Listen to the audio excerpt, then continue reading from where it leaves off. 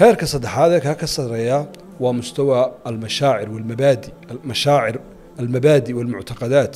Waa inuu qofku gaadho heerka inuu garan karo mabaadi'da uu xambaarsan yahay maxay tahay muctaqadaadkiisu maxay tahay nolosha sidee buu u arkaa adduunyada sidee buu u arkaa aakhira sidee buu u arkaa cibaadaadkiisu siduu arkaa xuquuqda banu aadamku ku leeyihiin oofintooda siduu arkaa xuquuqdiisa inuu goosto siduu u arkaa. Haadaa waa mustawe sare weeyaan waa mustawe sare waa mustawaha saddexaad. Qofku marka uu labada mustawe hoose soo maraya laakiin waa meel sakuu maraya. Markay ugu kooban tahay kumaa tahay marka la yidhaahdo uu isu macnaynayo qof waxan iyo waxan haystabaana waxan iyo waxana.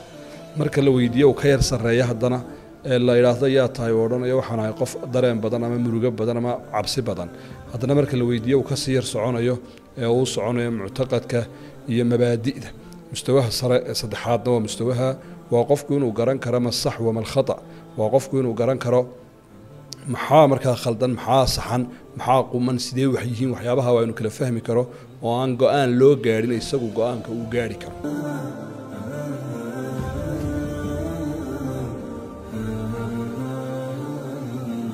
Bismi illahi raxmaan raxiim ahla wasahla wmarxaba bikum. Soo dhowaada walaalayaal waa xalqadeennii saddexaad iyo barnaamijkeennii social awarenesska iyo tawciyat lmujtamac inaynu bulshada wacyigooda iyo dhismaha garaadkooga caqligooda iyo cilmigoodaba qaadhaan ku darsanno oo aynu wax ku darno. Barnaamijkii aynu kaga warramaynay baynu insha allahu tacaala sii wadi doonaa xalqadan saddexaad waxaynu kaga warrami doonaa laba qodob baynu dul istaagi doonaa adigu qofkan aynu la hadlayna ee xalqadihii hore la soo socday ma tahay qof wacyigiisu dhisan yahay. Maxaad ku garanaysaa wacyigaagu inuu dhisan yahay waxyaabahaasaynu insha allahu tabaaraka watacaala ka warrami doonaa marka koowaad waxay isku waafaqeen khubarada iyo aqoon-yahanku inuu jiro wax la yidhaahdo wacyi ama mustawe qofku uu gaadho oo la yidhaahdo qofkaasi waa waaci qofkaasi waa qof garaad leh. Sidaa way isku waafaqsan yihiin guud ahaan. Haddana waxay isku maandhaafeen oo isku khilaafeen waa maxay wacyigu? Markaa nimbe dhan buu ula kacay isagoo ihtimaamaadkiisii iyo wuxuu danaynayey ee isaga ku weynaa ka dhex arkaya qofka oo ka dhex akhrisanaya markaasaa qolaba waxay indheergarad u taqaanaa. Indheergaradku waa qofka waaciga ah. Ee meel sare gaadhay qolaba waaci waxay u taqaanaa ama indheergarad waxay u taqaanaa shaksi qolo qof aanay ku tirsanaynin oo waxbaba oonay adhiba u dirsadeen oonay maqasha ku aamineen baa qolo kale agtooda wuxuu ka noqonayaa qof indheergarada oo waaci ah oo qof aada u horreeya oo aada u sarreeya. Muhiimadda laakiin halkan aynu ka leenahay waxa weeyaan inaynu inagu sharixi mayno dadka guud ahaan yaa waaci u ahe oo guud ahaan yaynu ku tilmaamaynaa indheergarad inagu taa sharixi mayno waqtina ku bixin mayno.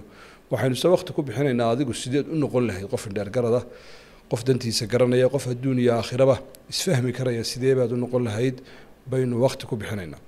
Markaynu soo koobno falsafado fara badan iyo waxyaabo fara badan baa lagu fasiraa qaarkood baaba dee ilaahay diintiisa aada uga fog oo buudhism iyo caqaa'id aan sax ahayn salka ku haya marka laga warramayo wacyiga iyo binaa wacyi linsaan waxyaaba marka caqiida way khuraafo iyo been ku dhisan oo aan sax ahayn waxyaaba badan baa salka ku haya laakiin marka la soo ururiyo istijmaacu lmari liafkaarihi wa mashaacirihi wa muctaqadaatih waa inuu qofku ka warqabo uu dareemi karo uu garan karo afkaartiisa ku soo dhacda maxay tahay? Afkaartiisa uu la socdo afkaartiisa uu maareyn karo maamuli karo. Laba mashaacirtiisa uu si fiican u maareyn karo. Mashaacirtiiyo dareemadu dareemayo hadday cadho tahay iyo hadday murugo tahay hadday farxad tahay hadday nacaybsho tahay hadday jeclaasho tahay.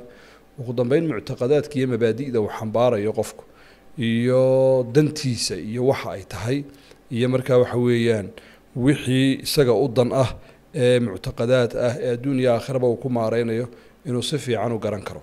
Inahaasoo la isku geeyey baa waxaa la yidhaahdaa oo qofku heer sare uu ka gaadhay baa waxaa la yidhahdaa hada insaan waaci. Waxaana u qeybsamaa dadka wacyigoodu markaynu qaybinayna aynu leenahay qofkaasi waa waaci iyo kheyr waaci weeyaan waxuu u qeybsamaa saddex qaybood in la yidhaahdo qof waaci ah oo sarreeya waaci murtafic iyo waaci munkhafid iyo waaci mutawasit ama alwacyu almutawasit alwacyu almurtafic alwacyu almutawasit iyo alwacyi almunkhafid wacyi hooseeya iyo wacyi dhexe iyo wacyi sare maxay kale yihiin waxay kale yihiin macaanida wacyiga. Qofka si fiican u kooba si fiican u garanaya warkiisoo dhan fahamsan waxaa la dhahda waa waaci sare. Qofka ay lakhbada kaga jirtaana waa qof dhexe. Qofka aan waxbaba kala garanaynen waxba u baxsanayna waa wacyigiisu qofuu aada iyo aada u hooseeyo. Sidaa darteed baa waxaa la yidhaahdaa mustawayaadka wacyiga. Laga qiyaaso qofkani mawaaciba mise maaha afar mustawa laga qiyaasa waxaana lagu gartaa afartaa mustawa laga gartaa qofka in la weydiiyo su'aal odhanaysa man anta yaa tahay. Su'aasha odhanaysa man anta aw man ana yaan ahay. Su'aasha odhanaysa dadku waxay moodaan wax fudud in laga jawaabi karayo. Waa su'aal sida ay u dhigan tahay aanay u fududayn jawaabteedu. Hadii qof la weydiiyo kumaa tahay man anta? Dadku meelo badan bay ula kacayaan. Mustawaha koowaad ee dad badani ay ku fasiraan waana mustawaha wacyiga ugu hooseeya waa waxaa la yidhaahdo mustawa alwacyi alkhaariji walqishra waa inuu qofku si fiican u garanayo waxyaabaha ku xeersan. Oo marka la yidhahdo man anta? Uu macnaynayo waxaan ahay nin xaas leh afar caruura leh gaadhi hebel hebela wata bangiga maxay ugu jiraan sidan iyo sidan ah. Waxyaabo ku xeerxeersan oon daatadiisa ku jirin. Qofku markuu fasirayo waa heerka ugu hooseeya wacyiga. Marka ismacnee la yidhahdo bal yaad ahayd adigu. Isu abtiri isfahan xogta uu naftiisa ka bixinayaa haddii ay ku kooban tahay waxyaabaha hareerihiisa ku xeerxeeran waa mustawaha ugu hooseeya ee wacyiga. Qofkaas waa qofka ugu hooseeya dadka. Wacyiga nooca labaad ee kaa ka yar sarreeya waxaa la yidhaahdaa waa alwacyu lmashaaciri waa qofku inuu dareenkiisa ku jawaabo. Kumaa tahay marka la yidhaahdo waa si fiican u garanaya waxyaabaha ka xanaajiya waxyaabaha ka farxiya oo idhaniyow anigu waxaan qof aada u dareen badan. Cidlaan dareemaa maxay baan dareemaa sidan aan ahay kaa waan ka xanaaqa kaa aad baan ugu farxaa hada alinsaan waaci limashaacirih waa qof si fiican u garanaya mashaacirtiisa dareemayaashiisa howlahaasuu si fiican u garanaya isaguna waa heerka labaad weey heerka saddexaad ee kaa ka sareeya waa mustawa almashaacir walmabaadi mashaacir almabaadi walmuctaqadaat waa inuu qofku gaadho heerka inuu garan karo mabaadi'da uu xambaarsan yahay maxay tahay muctaqadaadkiisu maxay tahay nolosha sidee buu u arkaa adduunyada sidee buu u arkaa aakhira sidee buu u arkaa cibaadaadkiisu siduu arkaa xuquuqda bani aadamku ku leeyihiin oofintooda siduu u arkaa xuquuqdiisa inuu goosto siduu arkaa. Hada waa mustawe sare weeyaan. Waa mustawe sare oo waa mustawaha saddexaad. Qofku marka uu labada mustawe hoose soo maraya laakiin waa meel sakuu maraya. Marka ay ugu kooban tahay kumaa tahay marka la yidhaahdo uu isu macnaynayo qof waxan iyo haystabaana waxan iyo waxana. Marka la weydiiyo uu ka yar sarreeya haddana la yidhaahdo yaa tahay uu odhanayo waxaan ahay qof dareen badan ama murugo badan ama cabsi badan. Haddana marka la weydiiyo uu ka sii yar soconayo ee uu soconayo muctaqadka iyo mabaadi'da. Mustawaha sare saddexaadna waa mustawaha waa qofku inuu garan karo ma sax waa qofku inuu garan karo maxaa markaa khaldan maxaa saxan maxaa quman sidee wax yihiin waxyaabaha waa inu kala fahmi karo oo aan go'aan loo gaadhin isagu go'aanka uu gaari karo. Mustawaha u sarreeya waxa weeyaan waxaa la yidhaahdaa mashaacir alaakhariin qofku intuu tiisii dhaafay dareentiisii dhaafay muctaqadaadkiisii dhaafay wixiiba soo gebagabeeyey ayaa wuxuu gaadhay bulshada kale inuu dareemo. Oo uu dareemo baahida bulshada kale ka bannaan ee isaga ku aadan. Maxaa bulshada kale ka maqan? Ummadaada maxaad ku soo kordhin karaysaa? Maa hiya alrisaala alatii taxmiluha waa maxay fariinta bulshadaada iyo ummadaada aada u sidaa markuu qofku halkaa fikirkeeda gaadho waa mustawaha ugu sarreeya waxaana ku biiraa culture creatorska ama dadka la yidhahdo sunnaacu thaqaafa.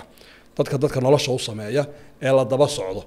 Marka uu soo gaadho qofku heerkaa afraad waa marka uu ku biirayo sunnaacu thaqaafa ama dadka la yidhahdo culture creatorska dadka dadka nolosha u sameeya. Hadduu siyaasi yahay siyaasad dadka ku hagaya oo lagu dabagelayaa hadduu aqoon-yahan yahay aqoontiisaa lagu dabagelayaa iyo buxuuthta rasaajadu sameeyo go'aamaduu soo saaro هدون عالم دينه دي هاي فتاوها وصوصاره يومد سدو هاقيو هدو قف جيسيو دقاليها ني هاي قرارات كي يقو آمدو قادن إلى آخره قف كاسوا قف كاري هير كأفراد وغصر رايا وعي قف نفتي سيادتك كلبا وكاريو هدبا أفر تايسكو جين تودا أيا با وحا كرنشا سدح ده مستوي نصوص شيغن قف كمستوي هي سمحاق هوسا مدوشا مصر رايا مساو دحايا haddii uu qofku yahay qof waxyaabaha aynu soo sheegnay si fiican wada fahamsan halka uu u socdayo wuxuu garanayaa maalan naftiisu yaqaanaa wuxuu garanayaa wuxuu haysta iyo waxaanu haysan si fiican u kala garanayaa mashaacirtiisu si fiican u kala garanayaa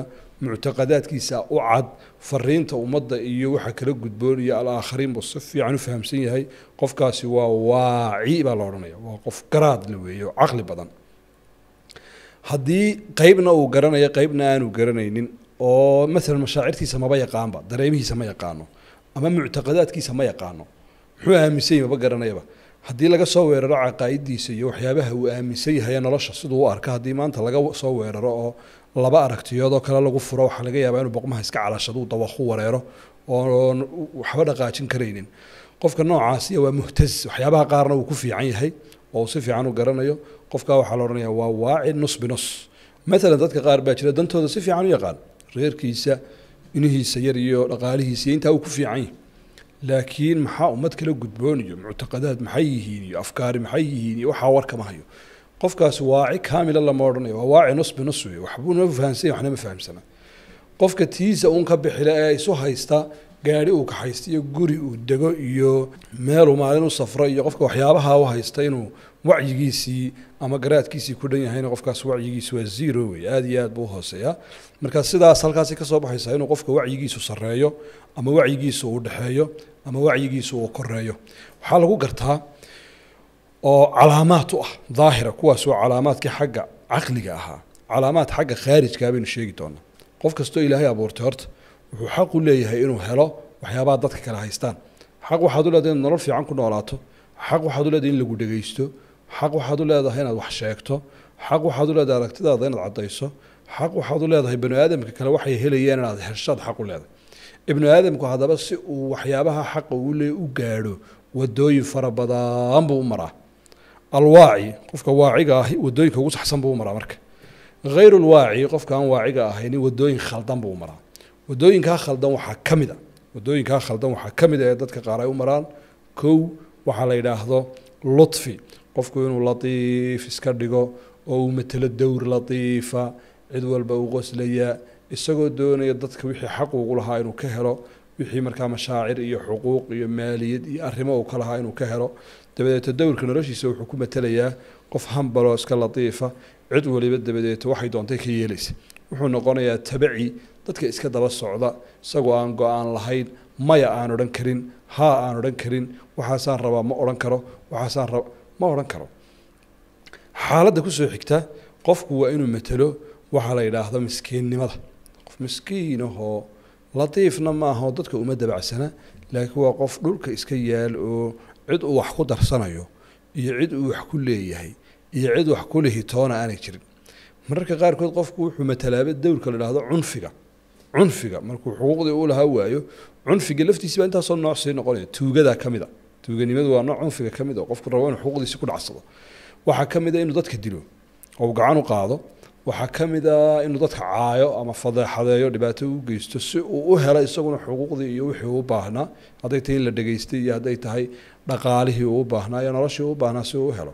Marar fara badan dadku waxay galaan markaa dabaa'icda noocaasa bay matalaan. Baashan la yidhaahdo alxirbaa ama jirjiroolaha aynu idhaahno ayaabuu qofku matelayaa marka uu noqon waayo qof waaciya oo duruqda saxda ah aanu mari karaynin xuquuqdii uu lahaa inuu helo wuxuu isku dayayaa inuu maro duruq aan sax ahayn.